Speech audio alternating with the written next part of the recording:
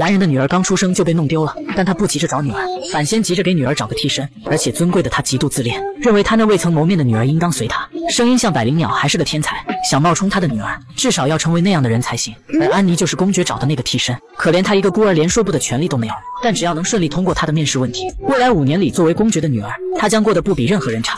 而公爵之所以这么做，都是为了他那因为失去女儿而变得无比虚弱的夫人。公爵要求他必须扮演好女儿这个角色，从进到府邸的那一刻起，你就要叫我父亲，叫我的夫人为母亲。现在开始，你要忘记安妮莎这个名字，从今以后你就是安妮特·奥布里。当然，如果你被发现了是假冒的，你将被重新送回保育院。安妮当然不想再被送回那个吃人不吐骨头的孤儿院。前世的她因为不受孤儿院的保育员喜欢，最后被卖给一位疯狂的科学家做实验体。那个疯子把她当作载体，竟妄图将已是夫人的灵魂导入她体内。实验没有成功，她最后是在冰冷的实验台上永远闭上了眼睛。她本以为自己就这样死掉，但当她再次睁开眼睛，她竟又回到了过去。只是上辈子因为实验失去了大部分记忆，还发生了各种奇怪的事，以至于她明明已经死而复生，竟还留有实验后遗症。手腕上奇怪的符文也在预示着她的生命正在倒计时。她记得上辈子公爵非常爱他的妻子，但他的妻子在女儿被弄丢后身体一直不好，直到去世。而丧妻之痛让公爵在皇室主办的狩猎大会上魔力暴走，差点杀死皇族而被处死。他拥有的绿之力量也被视为最恶毒的力量，被永久封印。他的家族也遭受了灭门之祸。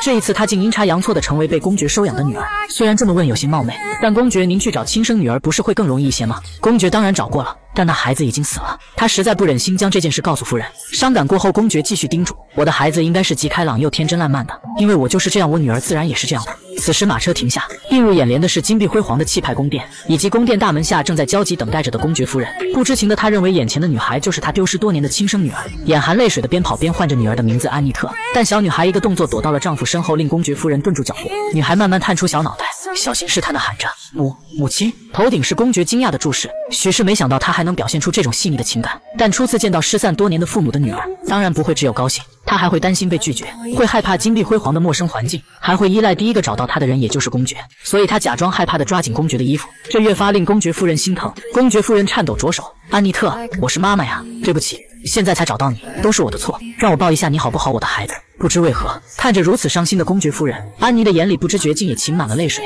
哒哒哒跑过去扑进公爵夫人怀里，唤道：“母亲。”奇怪，明明公爵夫人怀里这么温暖，为什么自己的心却这么痛呢？女孩被久违的妈妈抱在怀里，却怎么都高兴不起来，只因妈妈的温暖并不属于她，她只是个冒牌的替身。但她还是被怀抱着的温暖感动的流下了眼泪，是因为想到了过去那些如地狱般的日子吗？不管因为什么，总之她顺利的哭出来了。而找她当替身的公爵大人及时发声，罗莎娜。孩子要被你吓到了。公爵夫人终于从刚找到孩子的喜悦中缓过神。公爵安抚着：“我还要给孩子介绍房间，你身体本来就不好，就先进去吧。”公爵夫人听后不舍得轻抚女孩的脸：“好孩子，你先去休息一下，然后今天我们一起吃晚餐好吗？”安妮乖乖答应下来：“好的。”母亲，等到公爵夫人离开，正抹着眼泪的安妮头顶传来一声喂。公爵不敢置信地盯着女孩：“你真的哭了？”安妮呆了呆，随后得意道：“这是演技。”公爵疑惑：“演技？是的，你女儿极开朗又天真烂漫，还是个亲切的天才。那我至少要做到这样吧？”公爵有些无语，但又有些失落的道了一句：“算了。”随后随手一拍：“宫女回来了，你们要全心全意地侍奉她，不可以让她受一点伤。”于是金碧辉煌的城堡里涌出来一群侍女。安妮被这阵仗惊到了。公爵轻笑：“这有什么好惊讶的？这里以后就是你的家了。”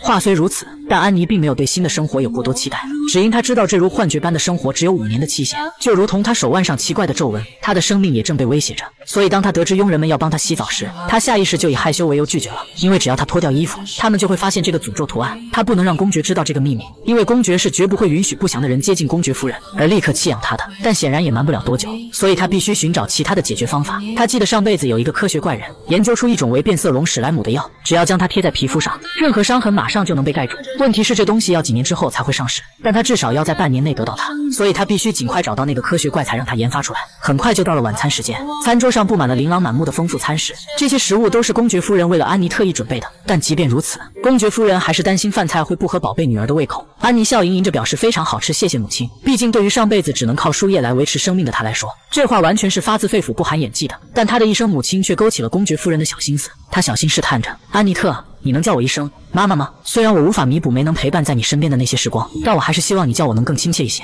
公爵夫人小心翼翼的话语令安妮怔住。原来妈妈也会害怕吗？还是在不停的内疚责怪自己吗？所以妈妈，以后我会努力叫您妈妈的。谢谢你没有放弃寻找我。终于听到安妮叫了妈妈，公爵夫人双眼瞬间倾满了泪水。就连呼吸也渐渐急促起来。他嘴里不住呢喃着，安妮特好像想再说些什么，但在越来越急促的呼吸下，公爵夫人突然猛烈咳嗽起来，随后一股热乎乎的什么东西喷洒了出来。女孩第一次见到分别了两辈子的妈妈，妈妈就口吐鲜血，快死了。上辈子做过实验品的她立刻做药送去给妈妈治病，但爸爸却发了很大的火。你在干什么？竟敢让罗莎娜喝那种脏水！我果然不该把你带回来。安妮一颤，随后又笑了出来。没关系的，爸爸，因为我像您是个天才啊。安妮的笑脸使得公爵的怒气微微顿住。他还在笑吗？公爵夫人及时出声：“就是啊，这可是我女儿特意为我做的。”随后他喝着药轻声安抚：“你别太生气了。”看着妻子毫不犹豫地将药喝了下去，公爵不敢置信。罗莎那，你淡入目的是母女俩温馨的一幕，比我想象中要甜啊，还有一点苦味。是的，好喝吧？我希望妈妈能快点好起来。随后故作轻松地让妈妈好好休息，自己先回去了。待离开公爵的视线后，安妮的小身体却止不住发起抖来。她双手轻抚着自己，安慰：“没事的。”没事的，安妮，在这里即使有点失误，应该也不会被训斥或被拉去做实验的。你刚刚应对的很不错，所以不会有事的。你来这里不会再遇到让你痛苦的事了，毕竟这里不是实验室啊，这里还有妈妈，不是吗？安妮的反常引起了侍女的注意，安妮打起精神，继续扮演一个什么都不知道的天真烂漫的孩子。于是明媚的笑颜再次出现，因为我第一次被大人训斥，所以被吓到了。这可是我们之间的秘密哦。而此刻房间内，公爵夫人也在说着：“公爵，你也真是的，那可是好好不容易才找回来的宝贝女儿，你为什么要对我们的女儿发那么大的火？”公爵低头，神色不明，又似有些内疚，因为他想让你。喝奇怪的东西，没成想这话竟引起公爵夫人哈哈笑了起来。我反而觉得他真是一个乖巧善良的孩子。我知道你对那个孩子还感到陌生，但是你以后不许再对他那么凶了。边说边还伸手掐住公爵的脸威胁着，但公爵毫不在意，因为他突然发现自己的妻子好像不咳嗽了。这么一说，公爵夫人也终于察觉到了，还真是呢。他感觉呼吸都顺畅了起来，也不觉得冷了。病了这么久，咳嗽从来没有这么快就停止过，这是怎么回事？难道那东西真的有用，还是只是巧合？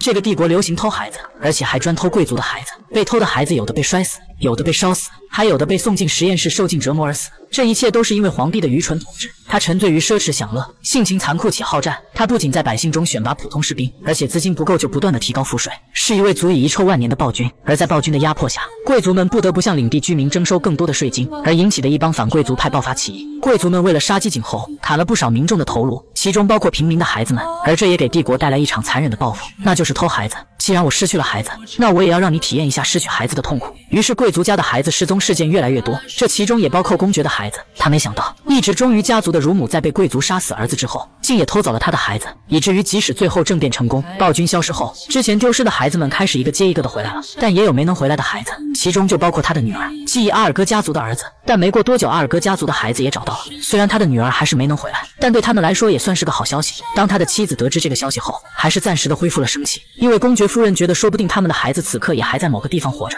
可是公爵无法对任何人说，他的孩子应该已经死了，因为他发现了孩子被烧焦的尸体，尸体上还带着他们给的家族项链。他好不容易才在妻子本已万念俱灰的那张脸上看到了点点希望和活力，这让他怎么开得了口？所以他只能将女儿不在人世的事隐瞒得更加严密，因为他不想让她体验自己得知消息时的痛苦。因此，在看到安妮的第一时间，和他的女儿年龄相仿的少女。他就已经决定将这个孩子带回来。孩子的到来果然焕发出妻子鲜活的一面。孩子叫着妈妈，妻子的满足感，这一幕温馨而幸福，令他幻想着，如果他将女儿平安的找回来，会不会真的如眼前这般幸福？但这个孩子是假冒的，虽然他长得很像，说话也像，但是根本不用怀疑是不是孩子被调包了，因为女儿安妮特的眼睛长得像她是浅紫色，但这孩子的眼瞳确实哑灰色。只要不是被拉去做了实验，眼睛的颜色就不可能改变。这个男人不仅长得丑，眼睛还瞎了。亲生女儿就在眼前，不仅长相跟他一模一样，就连那头乌黑发亮的蓝发都。跟他一样，但他硬是只将她当成宝贝女儿的替身，不好好爱她，还凶她，以至于公爵府的侍女都瞧不上这个才被找回来的小宫女，开始欺负她，竟敢公然伸腿绊倒小宫女，还不客气的嘲笑小宫女走路这么不仔细，是不是没人教？毕竟是孤儿院出来的，运气好才变成贵族呢。而这一幕恰好被公爵看到，就算不是亲生的，但佣人竟敢这么对待主人，他一定要教训他们。心里又暗自期待便宜女儿会不会来向他告状。于是当安妮端着亲手做的点心过来时，公爵心里想的却是他果然来告状了。虽然便宜女儿当时已经完美反击回去了，但只要他开口区区麻烦精而已。他会让他们永远消失在便宜女儿眼前的。于是听到安妮开口说有件事想拜托他时，他下意识认为安妮肯定是想让自己把佣人给解雇了。于是，好，我马上就解雇。不曾想便宜女儿并不是来告状，而是来找他拉投资做生意来了。我在学习的时候发现了一个很了不起的秘密，父亲，你能不能将这个进行商业化呀？公爵瞬间呆愣住。商业化？是的。安妮信心满满的介绍。您听说过合成魔石吗？就是一种可以同时容纳两个相反力量的魔石。通常一个魔石只能容纳一种力量，但如果掌握了可以混合两种属性的方法，那将其进行商业化也并非难事。这个话题果真引起公爵的兴趣。公爵没想到一个孩子竟有这种头脑，合成魔石确实不是妄想。他讲解的也非常干净利落，理论中毫无漏洞，确实按照你说的去做。还是很有可行性的，但得先实验。所以你就为了这个才为我准备食物。听到这话，安妮神色犹豫，虽说自己只是替身，所以有点不好意思开口。不过我想拜托您一件事。公爵心头一颤，果然他还是有孩子气的一面的。为了解雇那两个女佣，居然还费心思提出了商业合作的事先来打动他。那自己干脆让那两个女佣再也无法踏入贵族的家门。快说吧，快告诉我这个可以成为他们拦路虎的奥布里吧，哈哈。于是当那头安妮终于开了口，如果事业确定进行商品化的话，您能分给我两成收益吗？而这头公爵已经迫不及待站起身，好，我现在就解雇。你说什么？亲兄妹从娘胎出来后的第一次相见，哥哥却只想将妹妹赶出家门。明明两个人有着同款乌黑发亮的蓝发，可惜亲哥哥跟亲爹一样都是个眼瞎的。现在的他只知道眼前的女孩只是公爵父亲带回来的一个妹妹的替代品，还一来就夺走了妈妈的所有关注。他生气，竟被个冒牌货抢走了妈妈的喜爱。所以当他好不容易遇到落单的妹妹时，那张酷似奥布里公爵傲慢又俊朗的脸上笑着，但说出的话却充满恶意。你就是那个替身吧？即使穿上锦衣华服，但也还是显得很土气啊。本想礼貌打个招呼就离开的安妮顿住脚，抬眼看向便宜哥哥啊，那你就是那个吧？伊若斯奥布里。伊若斯傲慢抬头，都不知道叫声哥哥，这可不太礼貌啊。那你就有礼貌了。安妮也不甘示弱，虽然她这个冒牌货确实需要看人脸色，但她只要得到公爵夫妇的喜爱就够了，实在没必要连个小不点的脸色也得看。所以我没必要讨好你，更不会像个傻子一样对你卑躬屈膝的。我要是不见了，公爵夫人一定会因为受到刺激而晕倒的。你也不想看到那种情况吧？本以为这话最多会让便宜哥哥知难而退，没成想公爵夫人就是他的雷区。伊若斯成功被激怒，安妮被气急败坏的便宜哥哥扯住衣领时，心想完了，失误了，这下要挨揍了。好在下一秒，公爵夫人及时出现换人。安妮特，你们在干什么？伊若斯僵硬的松开手，安妮则暗道得救，差点就要挨揍了，立马开心的扑过去叫着妈妈。这操作可给便宜哥哥看傻了眼。啊呀！他怎么这么会装？这时公爵夫人叫着：“伊若斯，你也过来吧。”安妮看过去，他会过来吗？他可比想象中还要小气呢。没成想，便宜哥哥一改刚才傲慢的样子，竟就乖乖投进了妈妈怀抱。这副小模样就像个爱撒娇的小孩子，企图将刚刚被抓包想打妹妹的事蒙混过关。于是公爵夫人问道：“我看伊若斯把手伸向了安妮特，那是在干什么呀？”伊若斯立马一副天都要塌了的表情，支支吾吾就是不出声，还暗地里朝安妮狂甩头使眼色。安妮明白这家伙是在跟自己求情啊，于是决定好心放他一马。我跟哥哥就是互相打了个招呼，他看到我头发上有灰尘，所以想伸手帮我弄掉。公爵夫人很感动，真的吗？看来你已经是个帅气的哥哥了。伊若斯没想到替身妹妹真的帮了他，神情有些尴尬。好在公爵夫人还要要去见公爵，走前还嘱咐伊若斯好好照顾妹妹。兄妹俩笑盈盈的连声应好，跟妈妈告别。待公爵夫人一离开，兄妹俩立马变脸，谁也不爱搭理谁。安妮打算回房间休息，却又被伊若斯打断。你以为你这样做，我们就真的能成为一家人了吗？你以为母亲把你当女儿，你就真能成为她的女儿了？虽然不明白她到底想表达什么，但是安妮肯定，我从来都没有这样想过。家人，爱，在上辈子被科学家背叛的那天。我最先抛弃的就是这些。伊若斯被安妮的神情镇住。你说什么？安妮上前一步。我的意思是，就算你们求我，我也绝不会跟你们成为所谓家人的。所以你完全不用担心。安妮只觉得可笑。她现在只剩六到七年的寿命，哪还会妄想什么家人？她只是想彻底的利用这个家族来报仇而已。她这辈子只有两个目的，那就是报仇和自由。至于家人，自己要是真有那种想法，又怎么会明知这个家族的人会死还袖手旁观呢？所谓的家人不过都是假象。不管自己再怎么努力，再怎么渴望被爱，只要没有血缘关系，那就全都是假。即使有血缘关系。自己不是也被抛弃了吗？这个男人不仅眼瞎心还瞎了，明明都是蓝发绿眼的，一个是冒牌女儿，另一个却是亲儿子，但他却不爱亲儿子，只爱假女儿，就连吃个饭都要嫌弃亲儿子餐桌里还没有刚从孤儿院出来的假女儿好，而且同样是小孩子被妈妈抱，女儿可以，儿子却不行。妻子身体不好，儿子还这么不懂事。于是之前还在安妮面前嚣张傲慢的小男孩，忐忑不安的跟爸爸道着歉。安妮只觉尴尬，果然家里有病人的家庭氛围就是这样啊。公爵整天围着公爵夫人转，而正是需要被爱年龄的伊若斯却要孤独的长大，不能亲近父亲和母亲半分，以至于对上安妮这个外来者，他明知这个妹妹只是个冒牌的替身，却还是那么敏感。原来是因为对自己没有信心，毕竟他都还没觉得被爱过，就亲眼看见刚来的冒牌货被宠，享受着原本属于他的温暖。安妮都开始怀疑公爵不会根本就不爱他这个亲儿子吧？不对，公爵是爱他的。上辈子即使公爵暴走时也没有攻击这个儿子，反倒为了保护儿子伤了自己。而且安妮突然怔住神情，不对，这辈子他明明失去大部分记忆了，那这些记忆都是从哪冒出来的？在某一阶段触发某些情节，突然想起了清晰的记忆，这种情况已经发生不止一两次了。而且除了上辈子作为实验体阿妮莎所拥有的人生经历，好像还有其他的记忆。安妮特还在吃饭，你就开始走什么？原来是公爵发现安妮大半天只吃了一点沙拉和两三块肉，让回过神的安妮表示自己已经饱了，因为吃太饱的话大脑就不转了，身体也会变得迟钝。但在保育院，她既要上课，还要做当天被分配的工作。如果吃太饱，身体变得迟钝，做不完工作就得受罚。毕竟这世上没有免费的午餐，所以她早就忘记吃饱是什么感觉了。这下不止公爵，就连伊若斯也被惊讶到了，让小孩子工作还不让吃饱饭。安妮只当没看见父子俩怪异的表情，只是天真烂漫地问公爵自己吃完可以先走了吗？公爵答应，并交代从一周后开始就会有有。家庭教师来给安妮上课。安妮想也没想的，干脆应了下来。但公爵的心情却又更加沉重，因为他发现这个孩子，你居然从来不问我问题，你难道就不想知道要上什么课，由谁教你，还有具体上什么课吗？你为什么连最基本的疑问和好奇都不表现出来呢？难道你就没有好奇心的吗？公爵开始心软了。当他发现替身女儿小小年纪却意外的懂事，懂事到从不对他的话提出质疑，不好奇不反驳，只剩听话，他开始心疼这个孩子。于是，当安妮表示自己还从没看过外面的世界，他想去帝都逛逛时，公爵内心是无比的激动。他想说自己可以陪他去，但高傲惯了的公爵不能轻易低头。于是他别扭着：“我同意你出门，可是我今天有事。如果是明天的话，我倒也不是不可以陪你去。”原本还在担心公爵会不同意自己出门的安妮，怀疑自己听错了，看着一脸傲慢还含有一丝期待的公爵，呆愣住。他这是什么意思？久久没等到自己预料中女孩惊喜反应的公爵坐不住了。我说我可以陪你去。安妮惊呆了。所以你想我怎样啊，这位大叔？但很快安妮恍然大悟，眼前的男人跟炸了毛等着被哄的猫好像。难道他是希望我说那个？公爵还在暗自较劲。哎，真是的，他为什么不开口叫自己一起去呢？他明天真的挺闲的。于是当他终于等来小女孩，带着一脸期盼的对他说：“父亲，我知道您很忙，但您明天能陪我一起去帝都逛逛吗？”只听公爵傲娇的轻哼一声，好似为难道：“虽然有些麻烦，但我还是特地陪你去一趟吧。”假女儿跟亲儿子都看呆了。虽然这世上有很多不诚实的人，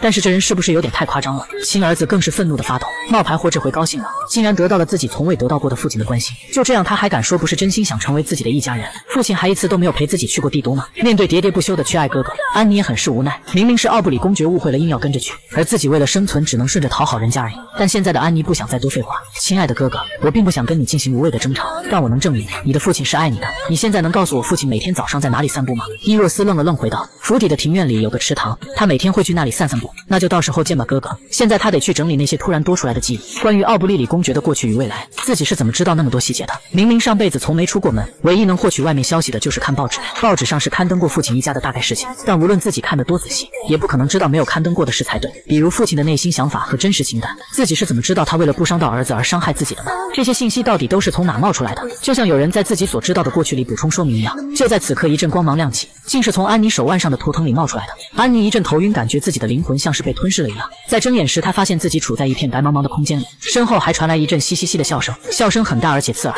安妮回头望去，看到的却是一团黑乎乎的人影，人影还在笑嘻嘻的打着招呼：“嘻嘻嘻，你好啊。”我们终于见面了。本以为是崔宁福的手腕图腾，里面竟藏着意想不到的秘密。在安妮被吸入这片白茫茫的空间后，黑色的人影告诉她这里是档案室，而她则是管理者。这里面是包含了世界真相的书架，而这个世界上也只有安妮才能进入这个房间。安妮虽然没有完全理解黑影话里的意思，但作为档案室，这里却白茫茫一片，什么也没有啊！黑影缺到怎么会没有？你再仔细看看，有的呀。话音未落，安妮眼前竟真的出现了一排排整齐的书架，但它们长得一模一样，自己要看哪本呢？这是一本绿色封面的书本，漂浮着来到安妮跟前。安妮这才发现，这本书竟与其他书前后封。封面的颜色不一样。安妮伸手抓起书本，黑影在一旁提议：“赶紧看看吧，会很有意思的。”安妮打开书本，发现这好像是某个人写的日记。二零一九年八月八日，被骗走全部财产后，横穿马路时被公交车撞死。啊，可恶，真是糟糕透了。但第二篇书写的文字突然变了，黑影突然出现，哈哈大笑起来，哈哈。后面是古代语，所以现在的你应该看不懂。安妮被黑影吓了一跳，随即发现这人竟是倒挂着的。而此时黑影倒挂着靠近安妮耳边，轻声诱哄着：“